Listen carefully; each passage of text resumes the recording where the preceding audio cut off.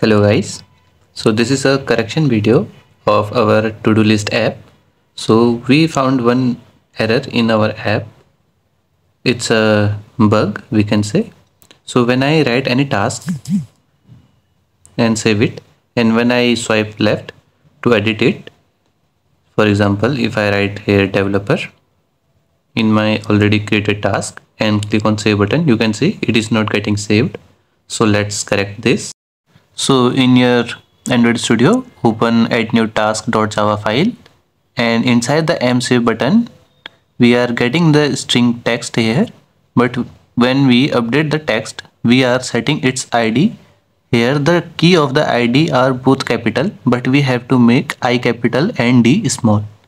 So by doing this, this was all our error. Now you can run the so now when I try to edit this by swiping it left right here developer and click on save. Now you can see our text is getting saved